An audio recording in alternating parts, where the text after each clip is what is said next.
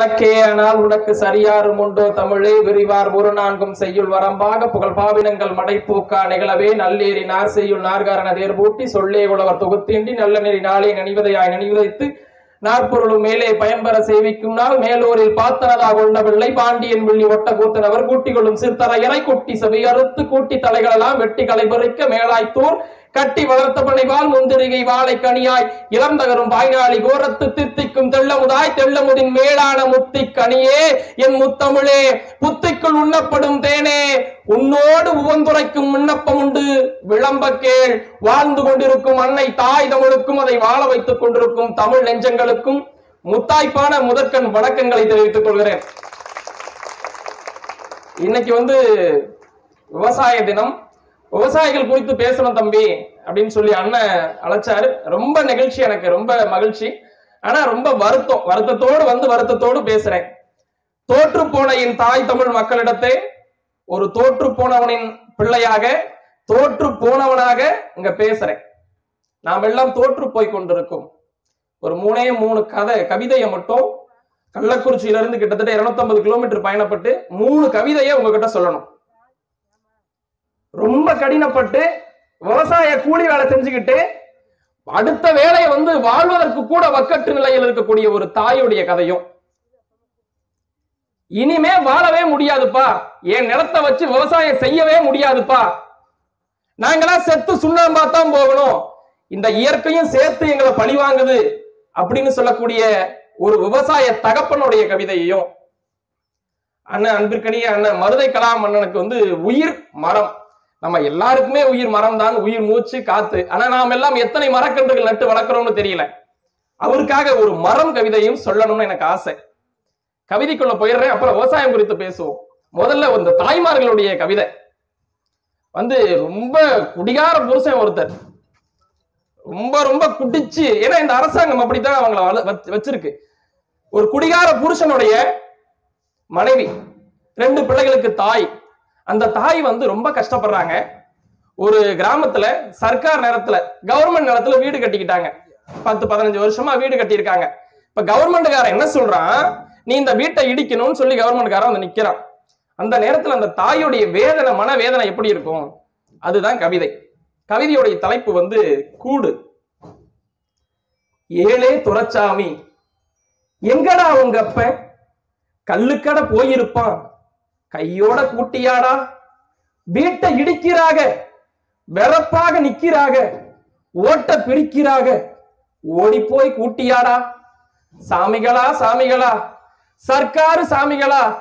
செலந்தி கூடலிக்க சீட்டு வாங்கி வந்தீங்களா சித்தெரும்ப நசுக்கத்தான். ஜீப்பேறி வந்தீங்களா அரசுண்டு வீடளிக்க ஆர்டர் வாங்கி வந்தீங்களா வெள்ளாட்டு காம்பில் விஷமடிய வடிய கணா கண்ட ஓடையெல்லாம் ரத்தம்.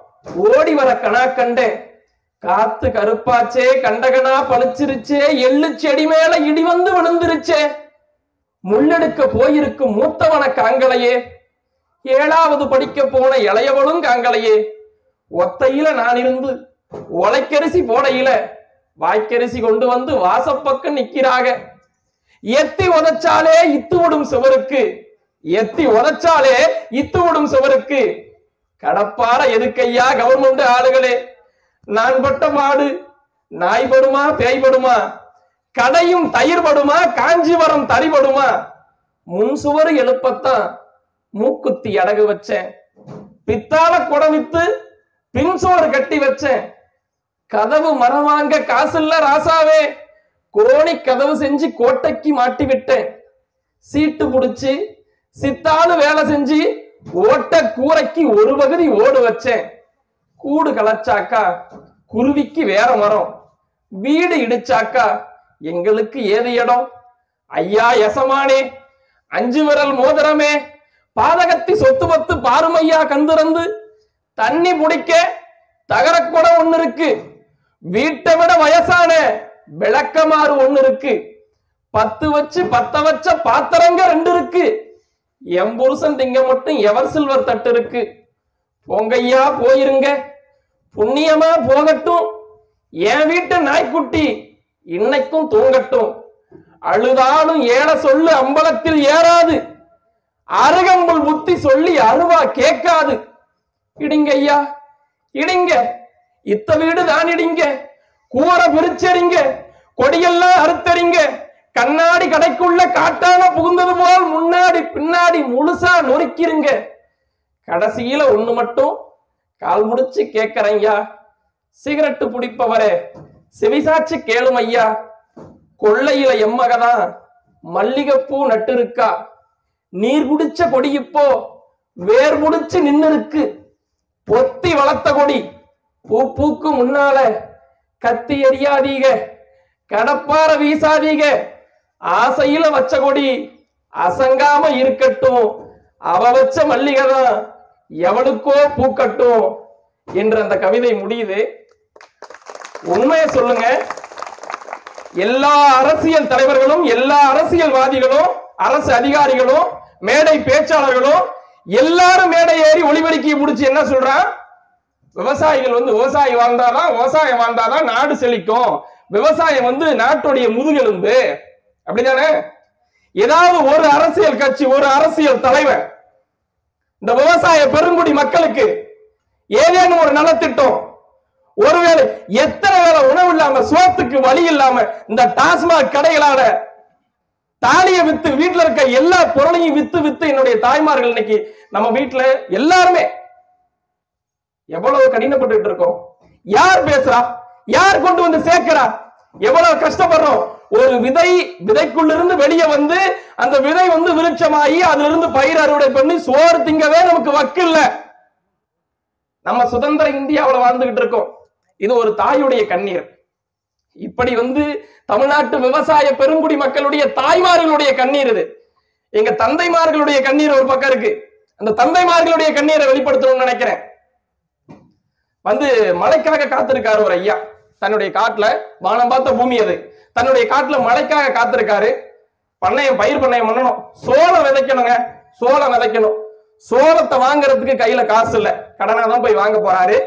சோளம் விதைக்கிற கதை எப்படி ஆகுதுங்கிறதா கவிதை. கவிதை பேர் விதைச்சோளம். ஆடி முடிஞ்சிருச்சு. ஆவணியும் கழிஞ்சிருச்சு.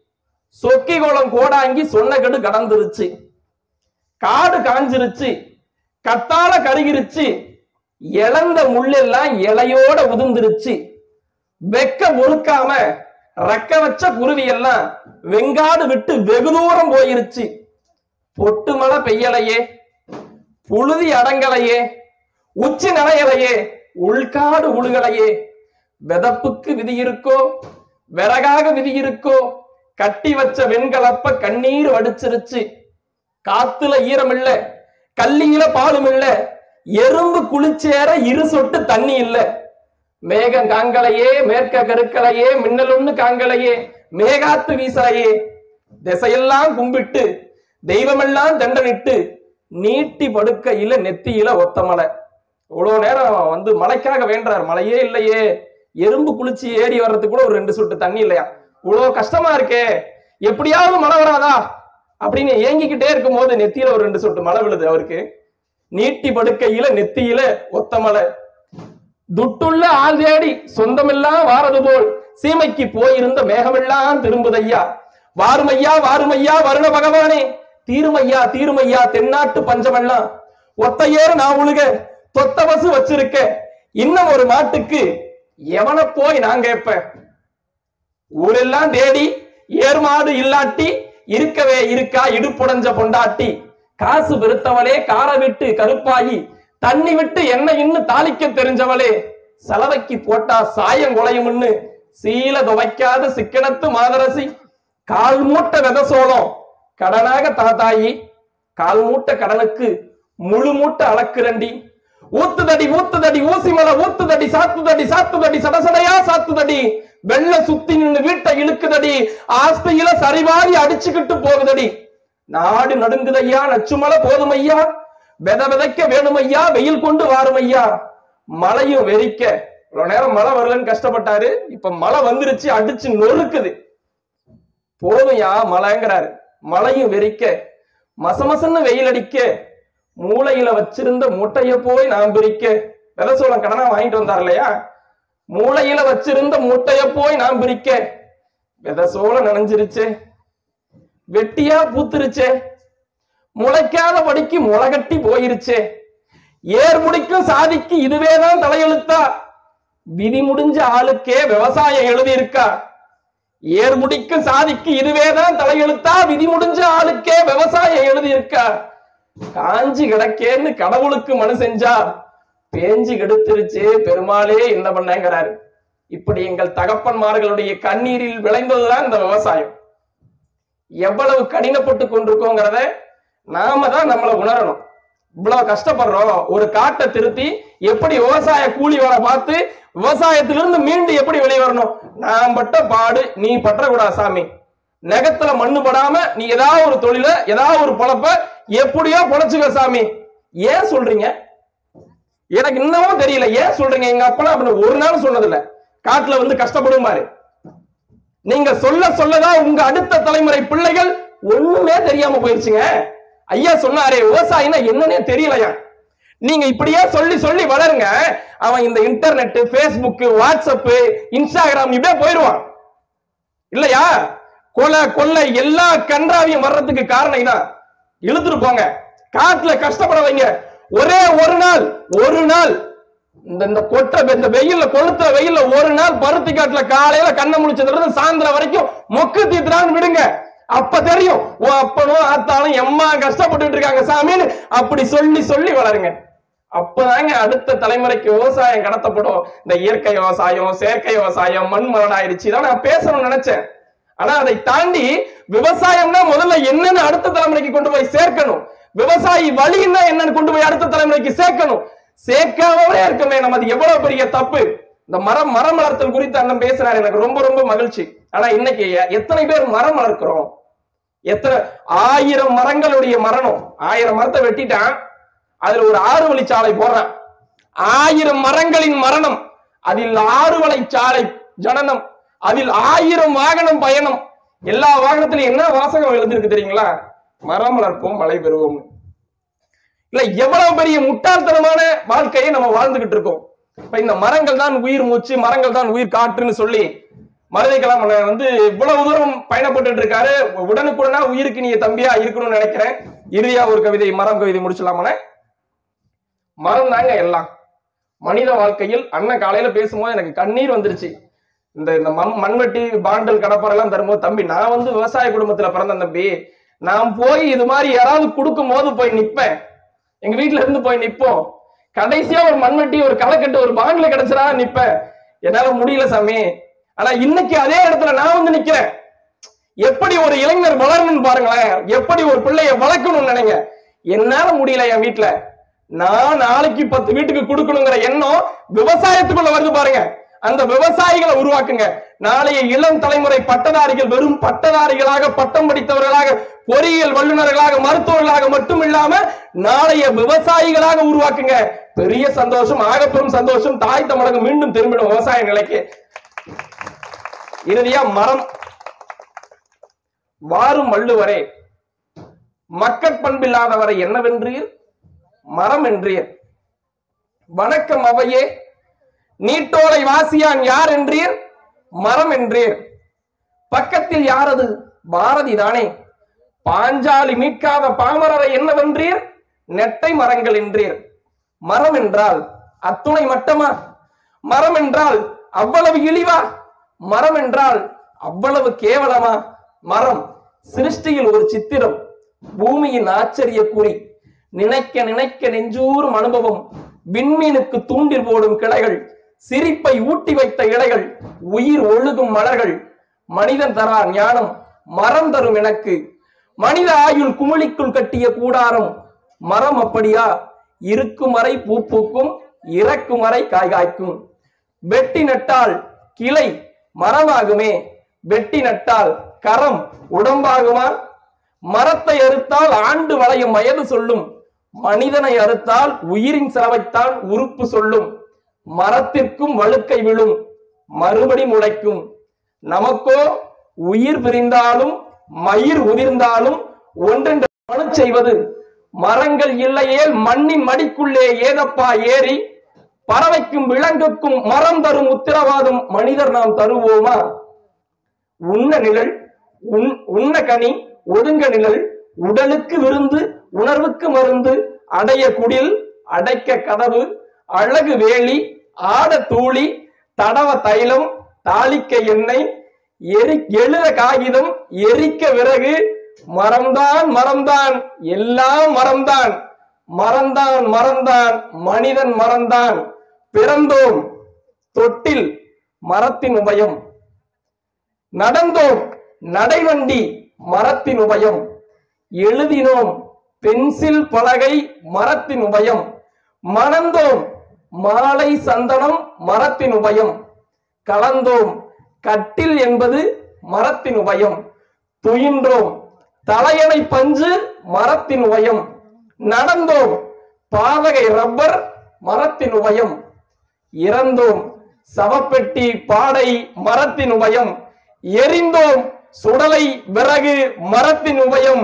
மரம்தான் மரம்தான் எல்லாம் மரம்தான் மறந்தான் மறந்தான் மனிதன் மறந்தான். மனிதா மனிதனாக வேண்டுமா? மரத்திடம் வா. ஒவ்வொரு மரமும் போதி மரம் என்று சொல்லி நல்லதொரு வாய்ப்புக்கு நன்றி கூறி இந்த மேடையை நிறைவு செய்கிறேன். எப்போதும் போல இறுதியாக இங்க வந்து நிறைய நிர்வாகிகள் வந்திருக்காங்க. அண்ணன் சொன்னாரு எல்லாரும் நிர்வாகிகளையும் பாராட்டணும் தம்பி. இவ்வளவு பெரிய நிகழ்ச்சி ஏற்படுத்தி கொடுத்திருக்காங்க அப்படின்னு. எனக்கெல்லாம் ரொம்ப ரொம்ப ரொம்ப பெரிய மகிழ்ச்சி. நன்றிங்க ஐயா. ஏன்னா இன்னைக்கு படித்த பட்டதாரிகள் இலக்கிய கூட்டங்கள்னு சொல்லி ஒரு பெரிய குளிரூட்டப்பட்ட அறைக்குள்ளாக நல்ல காத்தாடியை போட்டுக்கிட்டு இந்த மாதிரி நான் ஒரு பெரிய பெரிய நாலஞ்சு கேமரா வச்சுக்கிட்டு நிகழ்ச்சி நடத்திட்டு நாங்க நிகழ்ச்சி நடத்தணும்னு தொலைக்காட்சியில கொண்டு போய் சேர்த்துட்டு போயிட்டே இருக்காங்க பேர் வாங்கிட்டு. ஆனா இங்க இருக்கக்கூடிய நிர்வாகிகள் அத்துணை நல்ல உள்ளங்களும் உண்மையாலுமே விவசாய தினத்தை ஒரு விவசாயிகளோடு கலந்து கொள்ளணும். விவசாய நிலத்துல விவசாய பூமியில கொண்டு வந்து சேர்க்கணும். நான் வர்ற வரைக்கும் இடம் எப்படி இருக்குன்னு தெரியல. ஏதாவது ஒரு மண்டபத்தில் அண்ணன் நடத்திருப்பாரோன்னு நினைச்சேன். உண்மையை சொல்லணும்னா அப்படி ஒரு மனிதரை எல்லாம் அடுத்த அப்துல் கலாமை வந்து அப்படியே உரிச்சு வச்ச மாதிரி இருக்காரு எங்க அண்ணன். அப்படி ஒரு மனிதரை எல்லாம் இனியெல்லாம் பார்க்க முடியாது. அதனால அத்துணை நல்ல நிர்வாகிகளுக்கும் நன்றி. அன்பு அண்ணன் மருதை கலாமண்ணன் அவர்களுக்கு நன்றி. இங்க இருக்கக்கூடிய என்னுடைய பெரிய பெரிய தாய் தகப்பன்களுக்கும் மிக மிக பாதம் பொற்பாதம் தொட்டு நன்றி. இறுதியாக எப்போதும் போல என்னுடைய பாணியில் வெங்கொடுமை சாக்காட்டில் விளையாடும் தோளங்கள் வெற்றி தோள்கள் கங்கையை போல் காவிரி போல் கருத்துக்கள் ஊரும் உள்ளம் எங்கள் உள்ளம். வெங்குருதி தனில் கமர்ந்து வீரம் செய்கின்ற தமிழ் எங்கள் மூச்சாம். ஆம் தமிழ் எங்கள் மூச்சாம். நன்றி வணக்கம்.